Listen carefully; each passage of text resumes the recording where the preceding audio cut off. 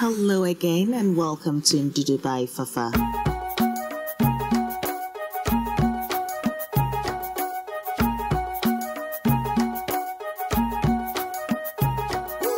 So today I'm going to show you my signature lemon guinea fowl wings recipe exactly. And of course I will have all the written recipe on my blog ndudubyfafa.blogspot.com so do check it out. Now I went to my local grocer and I saw the guinea fowl wings. I was like, yes, you're coming home with me today. Exactly. So of course, I also got some lemon from there. And what I'm doing now is trying to peel the skin of the lemon. So I am actually just cutting through the skin, um, but not entirely into the flesh of the lemon. And that is going to make for an easy peel. And yes, sometimes it's going to tear at some point, but hey, it doesn't matter, we will survive. Anyway, if this is your first time, thank you very much for tuning in. You're welcome. And to my loyal subscribers, I appreciate each and every one of you.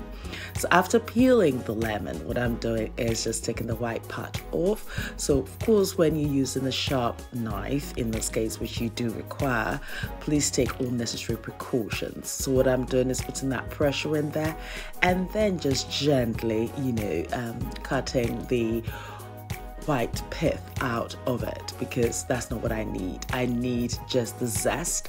But the reason why I'm going through this hassle is because I need to have it in the julienne manner, yes, so that it shows that yeah, I have chunks of lemon in there. So equally, you can't just, you know, grate the zest of the lemon, but I think this makes for a great theatrical sort of lemon sauce in a way. So once I've got that, I'm then going to, you know, thinly slice it into that julienne form as you can tell. Yes, if you like what you see so far, give the videos a thumbs up is the best way to support this channel and also to share with your family and friends. Yes, so now I've got the flesh there and what I'm going to do is add a little bit of water and I'll blend it and strain it into a glass. So here I do have all my preparation ready for me to move to the next step. So what I'm going to do is marinate everything and infuse the flavors. So I've got the lemon zest there and to that I'm adding the lemon juice. And then the next thing I'm going to do is add my sugar. Yes. And then a little bit of honey. So you've got that, you know, tangy, sour, refreshing, sweet taste going through. I'm adding salt to taste, and then I'm going to mix everything together until it's well combined, as you can tell.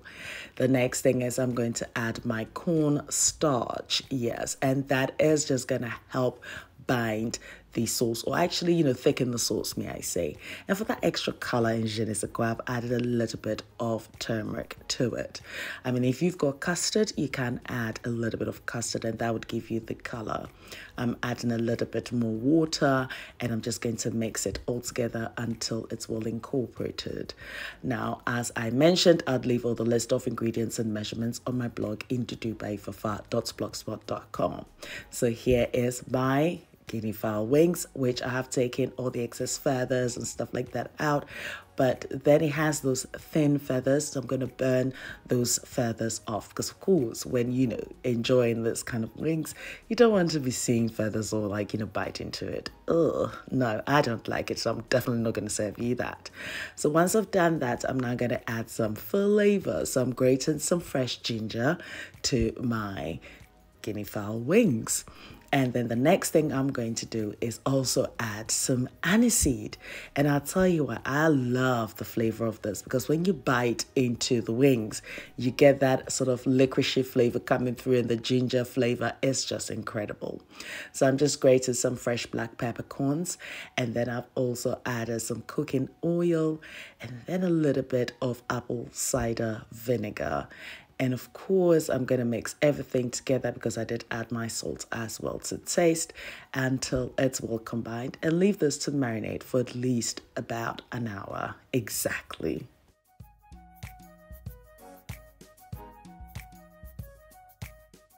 So I've transferred the guinea fowl into another bowl and I've washed this bowl and now I'm adding my corn starch because I'm just going to toss the guinea fowl in there is going to make for crispy skin exactly exactly what i need.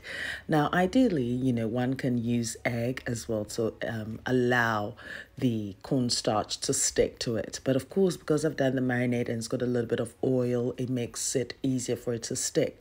And secondly there's a reason is because i just want to get that extra crunch um, residue when i do fry the guinea fowl. That's why i've done it this way yes. And as you can tell like i've got some of the ginger pieces in there and i'm just covering it carefully with the cornstarch. So yet again, when you bite into this, you're biting into a mouthful of flavors.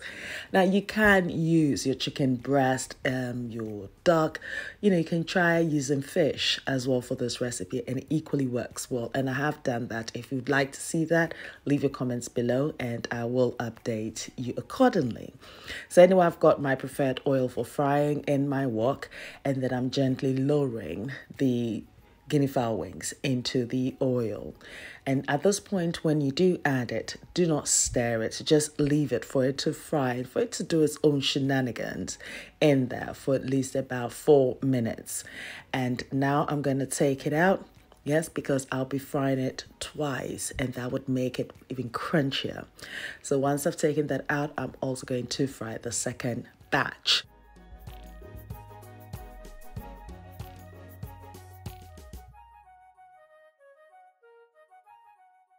After frying the second batch also for four minutes, I'm now transferring the first batch that I did fry back into the hot oil and I'm going to fry this for another four minutes. At this point, this is frying just beautifully and then I added the second batch as well. So, you know, it's just like killing two birds with a stone. So after four minutes, you end up with a crunchy, absolutely beautiful guinea fowl wings. As I said, you can use your chicken wings as well for this recipe, not a problem. And yeah, we're just going to see the pièce de résistance. Oh, no, no, no,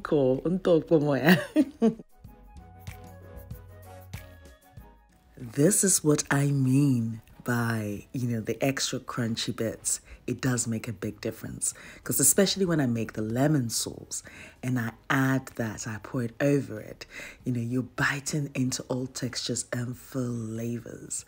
So yes, I'm just going to allow the excess oil to drain and then I'm going to concentrate on my next step, which would be the lemon sauce. But of course, it's Ndudu by Fafa. I had to add some extra shenanigans to this. So whilst this is still warm and hot, and you know, I've carefully just, you know, added my crunchy bits to it, as I mentioned earlier. I'm adding some lemon thyme, yes. And especially when it's hot, the lemon thyme would release its oils into the guinea fowl wings.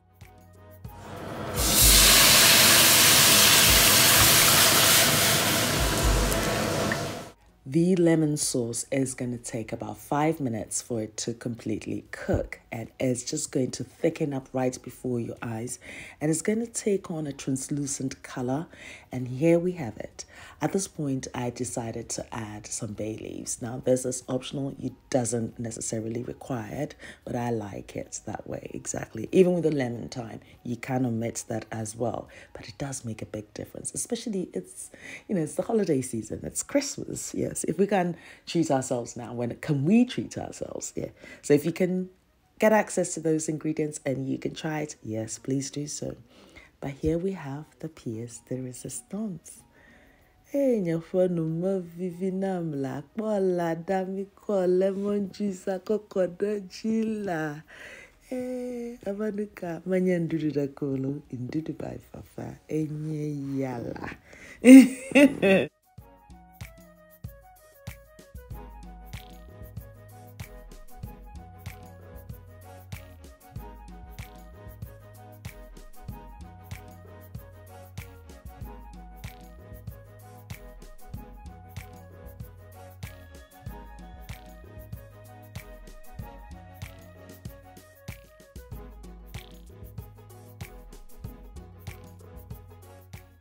This was so good that the next day I made it again for my lunch. But yes, it's something you can add to your Christmas menu and it's something different. It's a different flavor altogether.